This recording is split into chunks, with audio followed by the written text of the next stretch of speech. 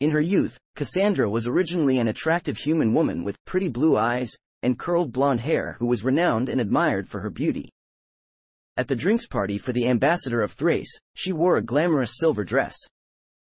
In her desperate pursuit of remaining the thinnest, most beautiful form possible, Cassandra eventually reduced her body through years of cosmetic and surgical enhancement to nothing more than a flat, translucent piece of skin stretched across a sleek metal frame that was as tall and wide as a man.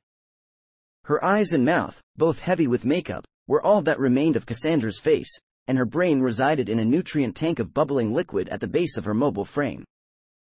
The skin, which was taken from the front of her body, required constant moisturizing to prevent it from drying out and any wrinkles were cut out with a scalpel. By the time she arrived on Platform 1, Cassandra had undergone over 708 operations, including a complete removal of her chin, and prided herself on not looking a day over 2000. Rose characterized her as lipstick and skin. When Cassandra's original skin was destroyed in the heat of Platform 1, she was able to rebuild herself with a skin taken from her posterior. By the time she and Rose met again on New Earth, Cassandra looked much the same as ever, though her frame had grown rusty over time and she was connected to some form of oxygen tank.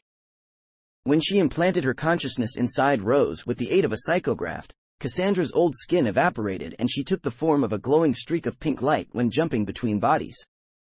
After possessing Rose's body, Cassandra appropriated her enemy's image and youthful physique. She gave her stolen body a mixed review at first, marveling at having arms and fingers again but dismayed at becoming a chav.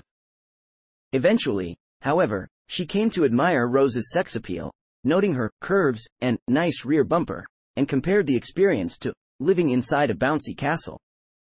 When Chip praised her as beautiful, Cassandra agreed, though once again considered enhancing her new looks with surgery as she believed Rose could do with a little work.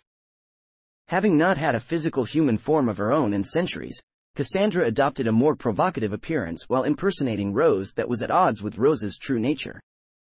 She unzipped and later removed the blue jacket Rose wore on New Earth to show off her front, wearing only her purple blouse underneath with the top buttons undone to expose her cleavage. For a brief period, she kept a spray bottle of tranquilizing perfume concealed inside Rose's bra. She also took quite a shine to Rose's blonde hair, at first massaging it into a more volume style to resemble her own and constantly touching and fondling it with her fingers. Inside the doctor's body, Cassandra rejoiced at being male, noting the Time Lord's slim, foxy, frame, twin hearts and hardly used parts. When she briefly possessed one of the hospital's female test subjects, she was aghast at her diseased, disgusting appearance. Finally, inhabiting the half-life clone body of her servant Chip, she described herself as a walking doodle and was pleased with Chip's blue hat. When Cassandra died in the arms of her past self, Chip's body was wrapped in a black hooded robe so that his pale, gaunt features and strange tattoos appeared less conspicuous to the party guests.